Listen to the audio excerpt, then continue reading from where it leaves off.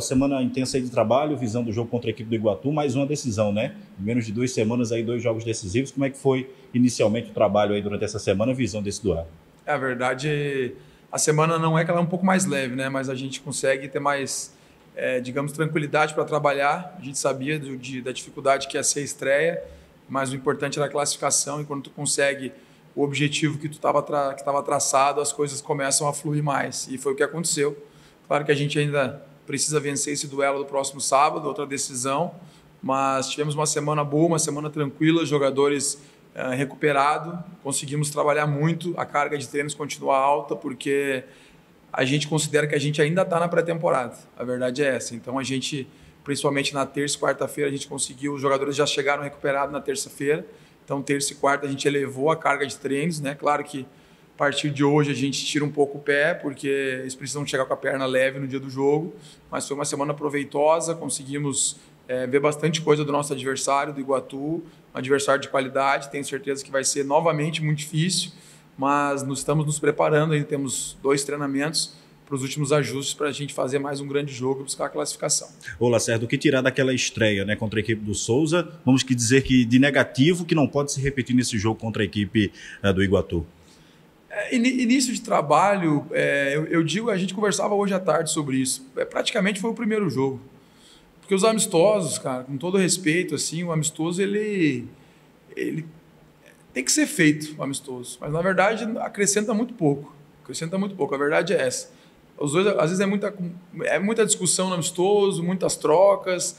Então, a gente fez o primeiro jogo. Então, se eu for falar de coisas boas aqui, teve várias mas teve várias coisas ruins também. Mas não, acho que não vejo necessidade de a gente enumerar todas elas. É, o que a gente precisa melhorar? A gente não teve tanto controle da partida no segundo tempo. Acho que no primeiro tempo a gente fez uma partida muito sólida.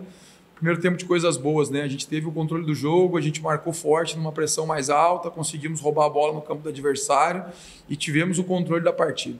Já no segundo tempo, também é, o fator positivo, o gol logo cedo que já desestabiliza o adversário, mas depois disso a gente não soube administrar essa vantagem.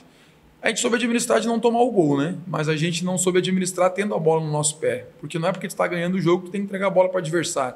Então, de negativo ficou isso, que a gente não conseguiu, é, mesmo ganhando o jogo, né, que, que dá uma certa tranquilidade, a gente deveria ter ficado um pouco mais no controle. Então, são situações que a gente trabalhou durante a semana, conversou com os atletas é, para não acontecer nesse próximo jogo. Falando sobre o time, né, durante a semana você treinou algumas situações, dentre elas é, chegou a fazer uma formação ali com uma espécie de três zagueiros. É algo estudado assim de acordo com o adversário e de repente você pode adotar esse sistema com três zagueiros ali atrás? É, a gente, a gente analisou muito a equipe do Iguatu, né? É, e para quem assistiu o jogo, é, viu o que aconteceu lá no jogo deles contra o CSA. No final do jogo, eles colocaram dois centroavantes, é, e venceram no ímpeto, né? Venceram na força, começaram a alçar a bola dentro da área e a equipe do CSA, é, pelo que a gente viu no vídeo, né? A equipe do CSA tava, sentiu um pouco fisicamente, que é normal, né? Início, início de, de temporada. E a gente treinou várias situações, não só a situação com três zagueiros, mas outras situações. Eu ainda estou com essa dor de cabeça. É, terão mudanças do, do primeiro jogo na nossa equipe, né? terão mudanças.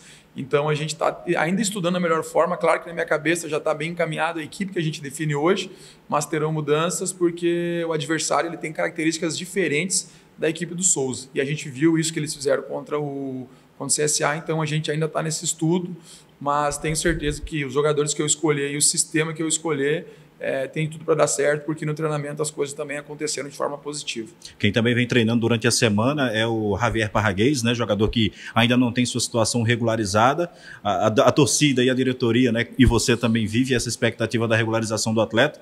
Caso ele venha ficar à disposição, o Parraguês ele ganha uma condição de já iniciar essa partida contra o Iguatu ou ainda é algo que você também está estudando essa possibilidade? A gente estuda a possibilidade, inclusive ele treinou algumas, em, algumas, em alguns momentos do treinamento, mas acho difícil né, a utilização desde o início, porque é um jogador que ainda não tem a regularização. Né?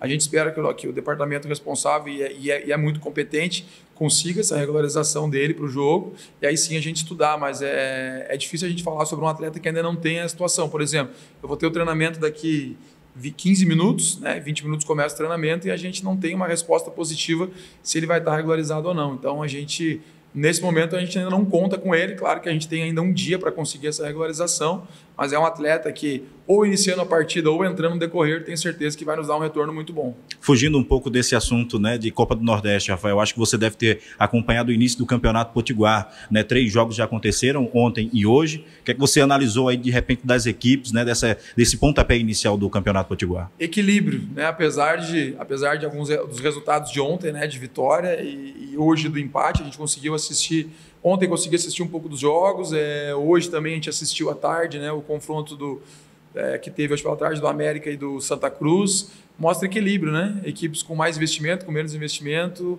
mas são, hoje o futebol está muito nivelado, né? Então tu vê equipes aí com bastante tempo de trabalho, como é o caso do Santa Cruz, que nos enfrentou aqui no amistoso e foi muito difícil, onde a gente venceu, mas a dificuldade foi muito grande. Os estaduais hoje, no geral, no Brasil, estão muito equilibrados, né? Eu, eu participei de esse aqui vai ser o meu terceiro estadual diferente, Campeonato Gaúcho.